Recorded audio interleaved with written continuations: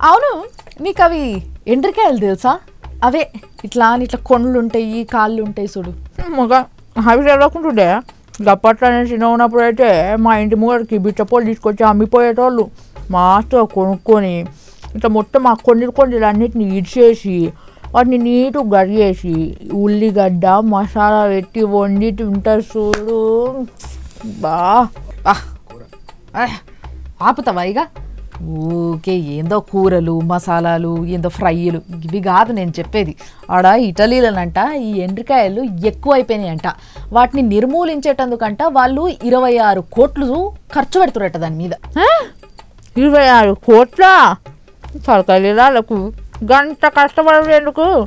తప్పు లేక మా ఊళ్ళో అందరినీ రోడిస్తా వాళ్ళు మంచిగా ఓడలలో తీసుకోపోమనాలను తీసుకుపోయాడు అనుకో మొత్తం ఆని ఎండుగిట్లు దాన్ని ఏరేస్తారు వండుకుంటారు తినేసి వస్తారు అయిపోయి గంటడానికి గింటలు ఎందుకు? నీ ముఖం.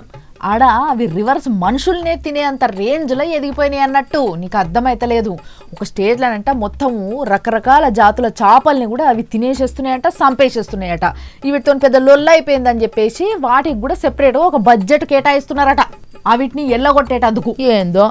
గిట్ట తిక్కోలేమో అబ్బా అవి దొరికితే బాగుండు ఇంత కూర వేసుకొని తింటే ఎంత బాగుంటుందో అని ఎదురు చూస్తుంటే వాళ్ళంతా ఉన్న వాటిని ఎట్ట చంపుదామని ప్లాన్లు ఎట్టడే కాకుండా వాటి మీద అన్ని పైసలు కూడా ఖర్చు పెట్టుడట గట్టు ఉంటుంది సరే ఏం చేద్దాం?